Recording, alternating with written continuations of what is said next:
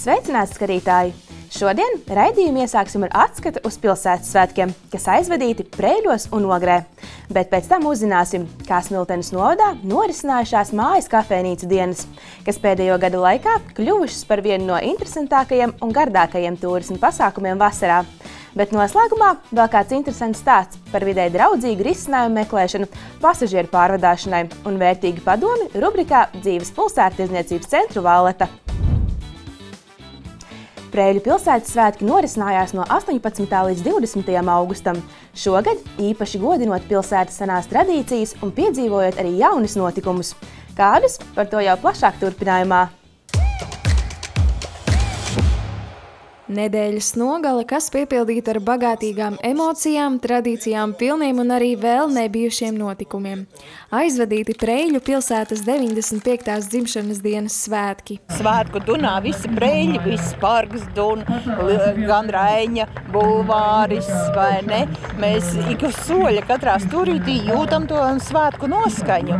Un ir brīnišķīgi, ka var veldzēties un staigāt parkā, izbaudīt mūsu pīli beidzot. Es domāju, ka tas tāds e, komplekts, gan koncerts, gan satikšanās ar e, sen neredzētiem cilvēkiem, jo noteikti šejieni atbrauc e, uz savu dzimto pilsētu daudzi. Bijušie gan klases biedri, skolas biedri, radi draugi paziņas, un tā ir tāda ļoti patīkama atkal redzēšanās. Arī bērni ar nepacietību gaidījuši savas pilsētas svinības. Viņi nevarēja vairs sagaidīt, kad mēs nāksim, jo redzēja jau kopš vakardienas atrakcijas un, un, un šīs iespējas mēs arī stāstījām, kas būs. Jā, arī bērni, protams, gaidīja, jo par bērniem šeit arī tiešām ir ļoti labi padomāts. Es domāju, ka visi preļu iedzīvotāji šo svētkus ir gaidījuši. Manuprāt, šeit ir ko redzēt, ko baudīt un par ko priecāties. Preļu pilsētas svētkos šogad klātesoši bija arī sadraudzības pilsētas Utenes pārstāvi no Lietuvas, daloties savā pieredzē par pilsētu un svētku norisi. So in, in Latvia we are not the first time.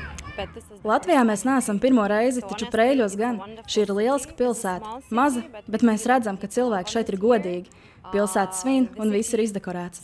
Ir pirmā reize šeit, tāpēc nevar par prēļiem pateikt daudz, bet zinu, ka svētki būs ļoti jauki. Šogad svētku moto ir bezgalīgā mīlestībā. Svētku sajūtu iedzīvotājiem uzbūra arī muzikāli priekšnesumi, kas izskanēja tradicionālajā operu mūzikas koncertā. Šī gada moto ir patiešām veltīts mīlestībai. Mīlestībai vienam pret otru, mīlestībai pret mūsu mūsu pilsētu, jo mīlestība ir tās stiprās saites, kas liek mums justies labāk, kas mūs iedvesmo un padara stiprākus.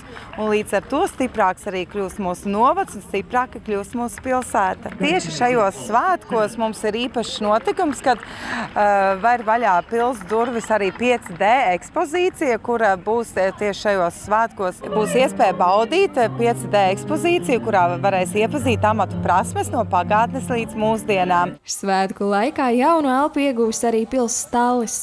Preļu novada domas priekšsēdētājs pauž, ka ir patiesas prieks, jo paši pilsētas iedzīvotāji izsaka vēlmi un arī iegulda darbu savas pilsētas attīstībai. Raimonda Šņepsta vadībā izdevies savā ziņā atdzīvināt pils stāli, jo līdzīgi kā senāk, nu to rotās zirgu galvas. Viņa vadībā šobrīd eh, šis Preļu eh, eh, pils stālis šobrīd ieguvis šos trīs um, zirga galvu statujas, nu, kas, es domāju, apliecina vairāk šo, teiksim, to, kā jau teicu, preļu identitātes vecās mantojuma apvienošanu mūsu nākotnē. Dienas tumšajā pusē iedzīvotājs no jau trešo gadu priecē velobrauciens Naksnīgās pilsētas ielās. Prēlēnieši stāsta, ka šis ir notikums, kas jāpiedzīvo ik katram pilsētas iedzīvotājam, aicinot draugus, paziņas, kolēģus un citus pievienoties nakts velo reivam. Sajūtas ir brīnišķīgas. Es piedalos jau trešo reizi, jo es arī ikdienā braucu ar velosipēdu. Un tad šoreiz ir tā reize, kad es savu bērīti ietērpju svētku rotā un piedalos velo reivam un izbaudu. Pilsētas svētku naktījiem ir dzējās ne tikai velo braucienu dalībnieku transporta līdzekļi, bet arī Prēļu pils parks gaismu šova burvībām. Savukārt Ogres pilsētas svētki aizvadīti ar moto Šeit dzimst leģendas. Divu dienu garumā Ogre prezentēja novadā īpašo, vienojās kopīgā laiva braucienā, kā arī atklāja Latvijā lielāko vidusskolu jau no Ogres valsts ģimnāzijas ēku. Plašāk par visu skatieties sižetā!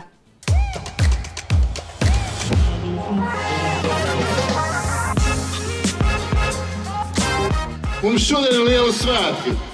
Ogra svin savu jubileju. Mēs varam pastīties uz to, kā uz kārtējo gadu skaitli. Varam novērtēt, ko ir devuši iepriekšējās paudzes mums, un arī varam dot savu ieguldījumu priekš nākotnes. Mēs varam uzbūvēt infrastruktūru, celt labklājību, uztaisīt labas mājas, bet ja mēs neiedosim nākamām paudzēm, kā ar to rīkoties, zināšanas vai padomu, tam nebūs nekādas vērtības. Skola ir pats pamats. Mūsu jaunais sauklis ir šeit dzimis leģendas. Kad vērs šīs skolas durvis, es ceru, ka šeit dzims leģendas. Mēs esam pirmā lielākā vidusskola valstī. Uh, un man liekas, ka būtiski, ka mēs dodam tādu atspēriena punktu uh, par to, kā mēs iztēlojamies, kāds ir tas pakāpiens ar pamatskolu un augstskolu. Ļoti, ļoti patīkami ir eh, šeit spēlēt. Nu, teikšu godīgi, joprojām nav sajūta, ka mēs esam ogrē. Jo eh, šāda līmeņa zāles ierasts ir bijis kaut kur citur. Igaunijā, Latvijā pāris tādas ir. Tā kā tiešām milzīgs prieks, kad arī mums ogrē beidzot ir eh, tiešām laba līmeņa, augsta līmeņa sporta zāle. Nu, mūsu gadījumā tas būs pilnīgi simtprocentīgi visu ziemas ciklu iziet jaunajā manēžā, jo iepriekš bija dažādi. Mums skalle bija atbilstoša tikai, lai trenētos mazi bērni. Mēs braucām uz Rīgas manēžu trenēties. Tāda būs pašiem savu, un mēs simtprocentīgi varēsim sagatavoties vislabākajos apstākļos.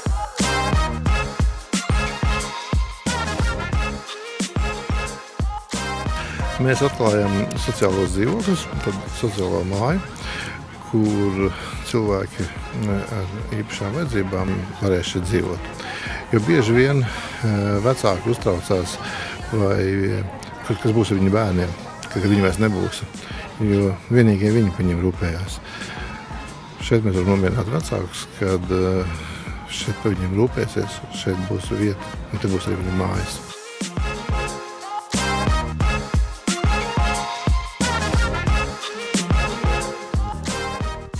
Grāmata ir un paliek. Un paliek visam paudzēm. Tā kā paldies jums par to un Es šo rom romānu redzēju tikai kā vienību. Godīgi sakot, arī gribējās jau, lai, lai cilvēki, nu, lai viņiem būtu pa ko padomāt. Kad, teiksim, grāmatas nosaukums, protams, tāds diezgan garš ir, bet viņam vienu vārdu varētu pateikt kā asins balss.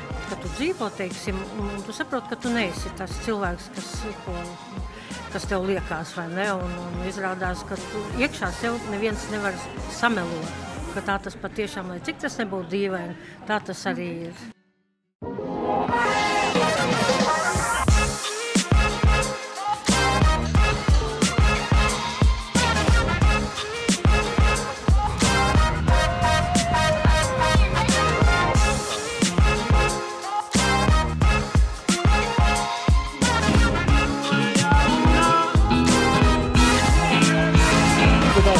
Kādā tikšanās. Tas notiek Latvijas čempionātā, Latvijas čempionātā.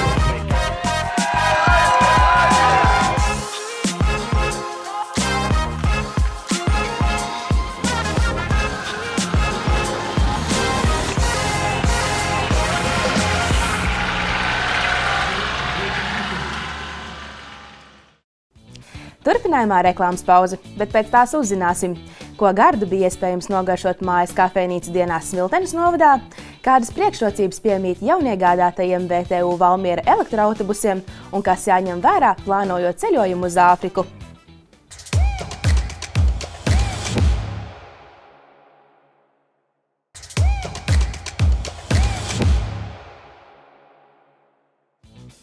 Mājas kafejnīcas dienas iesoļojušas arī Smiltenes novadā, ļaujot garšu baudītājiem piedzīvot svētkus un doties ciemos. Ko tad mājas kafejnīcu dalībnieki cēluši galdā un kā noritējusi viesu uzņemšana, to uzzināsim nākamajā sižetā.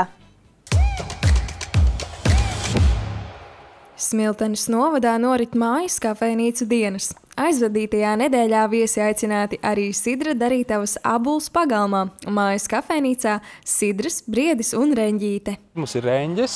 Reņģis tāpēc, ka varbūt nav lokālais ēdiens, bet pašiem baigi patīk. Viņas tādā sidra mērcē, ceptas un baigi foršās, un vēl ir briežu zupa. Gribējās kaut ko tā kā tādu savvaļīgu. Reņģis cep tādā mīkliņā, un tā mīkliņa ir tā kā fish and chips, un fish and chips mīklā parasti izmanto alu, tumšo saldo alu, bet mēs liekam sidru. Un tas viņš arī ir saldākais sidrs, kas mums ir. Viņš veido tā kā, nu, tā teikt, vienu no mīklas sastāvdaļām. Dod skābumu un saldumu reizē.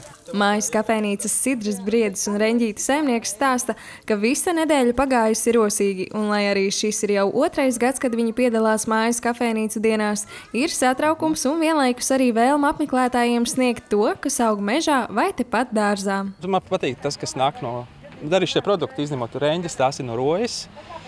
Bet lielākā daļa ir nu, vietējie. Un, nu, kaimiņu zemenes, mēlenes no meža. Un, un, un tā. Es vēl gribēju kaut ko no sēnēm taisīt, un, bet nu, vienkārši nepietika laika. Man patīk kā, izmantot, nu, kas, kas tepat audzis, un no tā var visu kaut ko garšīgu uztaisīt. Mājas kafejnīcā Launkalnes pagastā rosās arī bērni, palīdzot uzņemt viesus, kā arī nobaudot pašu gatavoto. Mēs vēl neesam visu pagaršojuši, bet nu, man ļoti garšo tā limonāde, kas ir uh, smilgas cērkšķu limonāde. Man garšoja tiramisu. Kad jaunākajām mājas kafejnīcu dalībniecēm tika jautāts, vai patīk uzņemt viesus, abas meitenes apstiprināja, ka būt saimnieces godā ir jauki.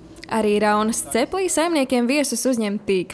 Pulcējot eju visu lielo saimi, Raunas ceplī valda čalas satikšanās prieks ne tikai viesiem, bet arī pašiem saimniekotājiem. Mēs trešo gadu pēc kārtas piedalāmies lielajā valsts projektā Mājas kafejnīcas dienas. Un mēs esam tiešām priecīgi un gandarīti, ka mūsu vieta atkal ir izvēlēta kā viena no apmeklētajām. Mēs atkal esam ģimenes, ģimenes komanda sagatavojusi visādus gardumus mūsu viesiem. Mēs piedāvājam manis pašu kūpinātu foreli.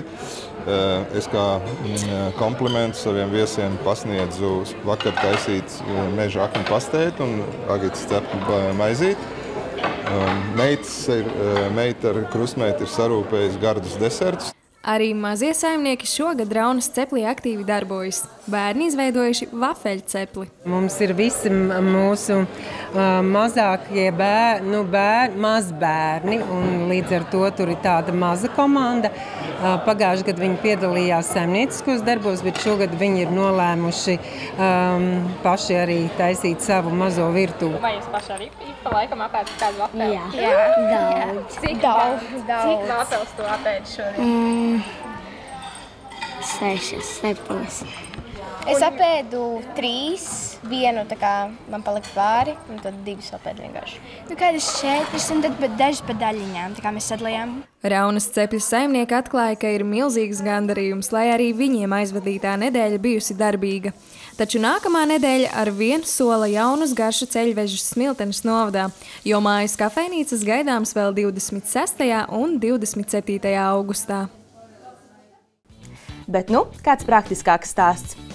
Uzņēmums VTU Valmiera novēro, ka beidzoties Covid pandēmijai, Valmieras pilsētas iedzīvotāji aizvien biežāk nokļūšanai no punkta A uz punktu B ikdienā izvēlas sabiedrisko transportu. Un tādēļ spērts nozīmīgs solis, lai šo pakalpojumu turpmāk sniegtu vidē draudzīgākā veidā. Jaunums sabiedriskā transporta nodrošinājumā Valmieras pilsētā. VTU Valmiera iegādājies divus jaunus elektroautobusus, tādējādi turpinot spērt soļus uz CO2 izmešu daudzumu samazināšanu pilsētvidē.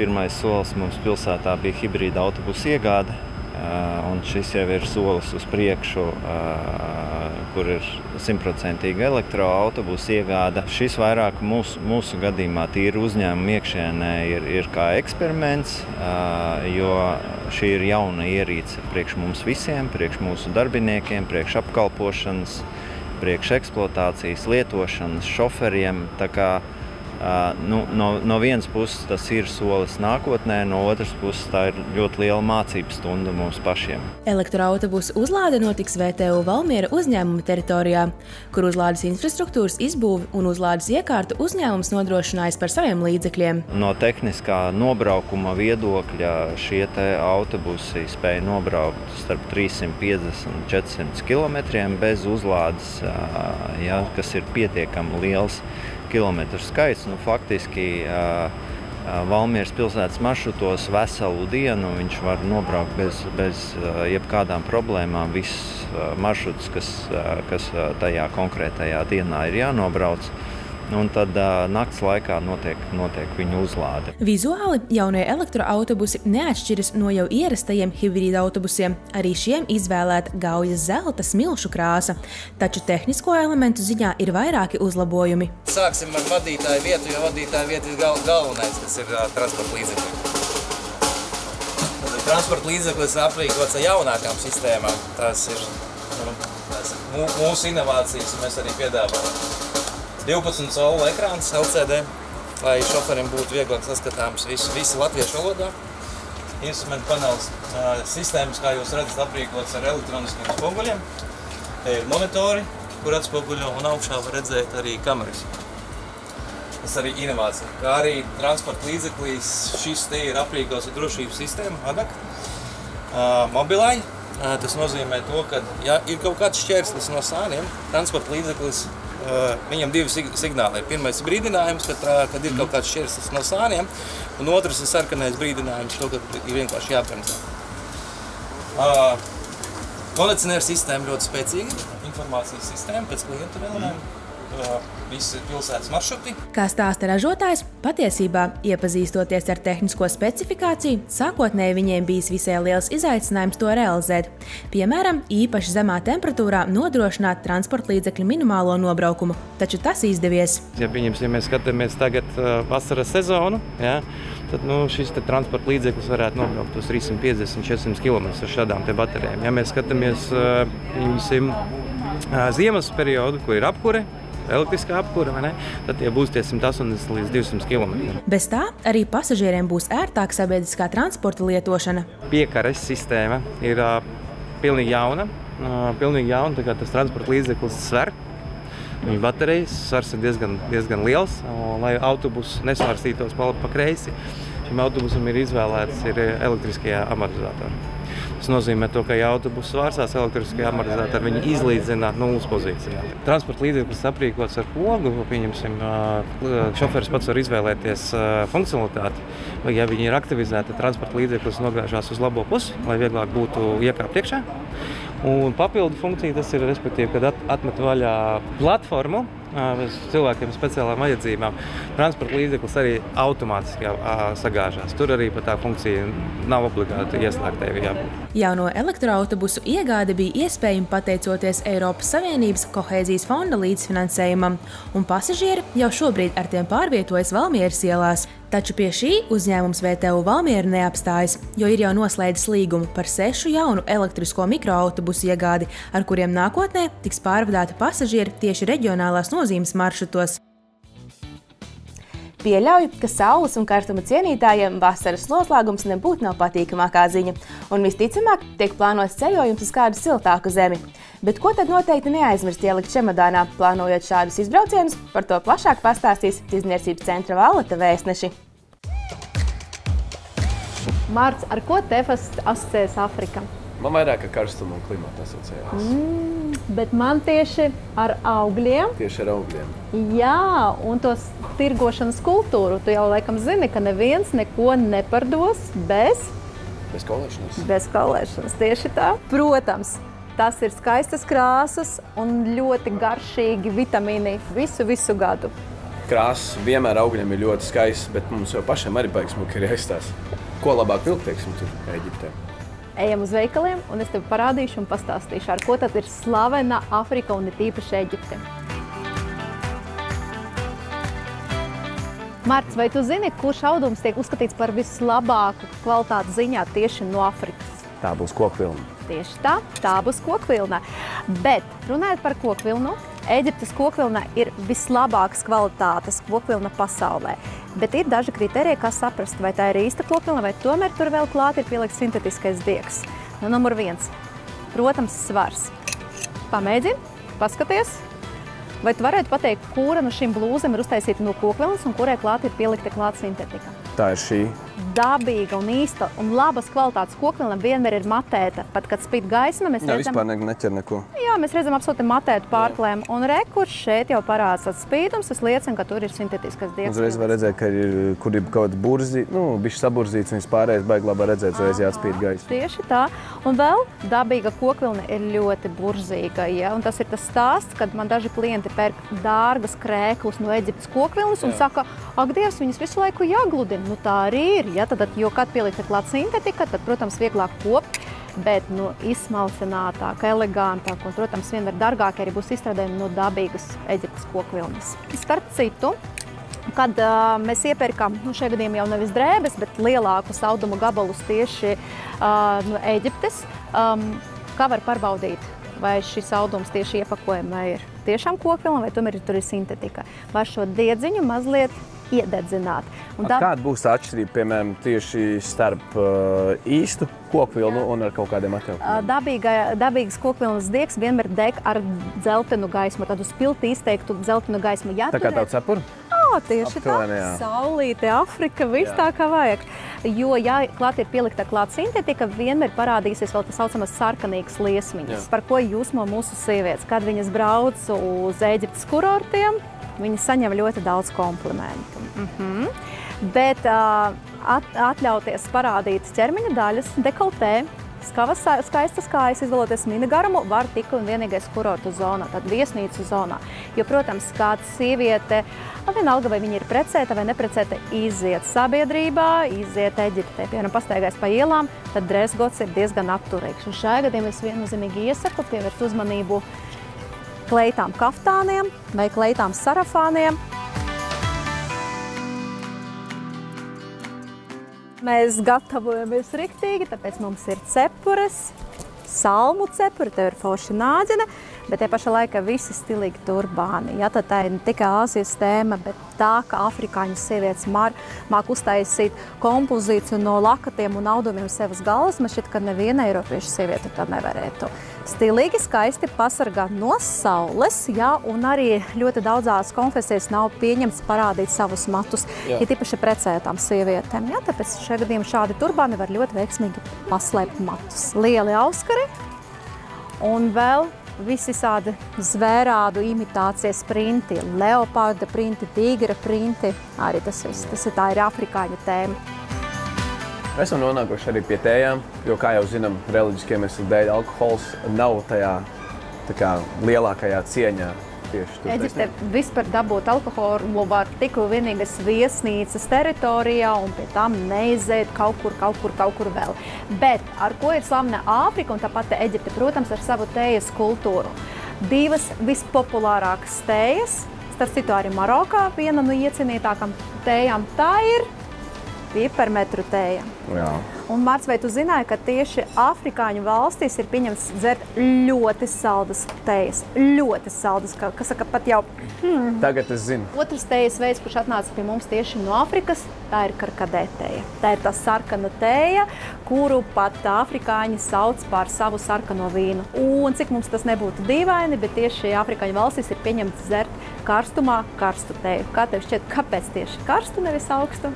Nemācīšu pateikt. Iemesli varētu būt ļoti daudz, bet es neminēšu, to varētu pateikt. Īstenībā, cik tas nebūtu dīvaini, jo vislabāk atvesina karstumā un dot to temperatūras sajūtu.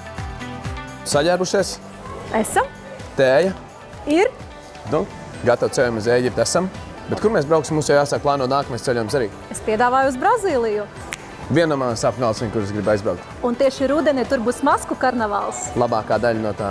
Super! Tur mēs brauksim nākamreiz, bet ar jums skatītāji tiksimies jau nākamnedēļ. Vislabāk! Ar šo stāstu raidījums arī noslēdzas, bet man vēl kāda svarīga ziņa jums, skatītāji. No nākamās nedēļas raidījums mēs varam, mēs darām, ēterā būs skatāms nedaudz ātrāk, pulksteņi 7.15, jeb uzreiz pēc RTV ziņām. Piefiksējiet šo un tiekamies jau atkal pēc nedēļas. Visu labu!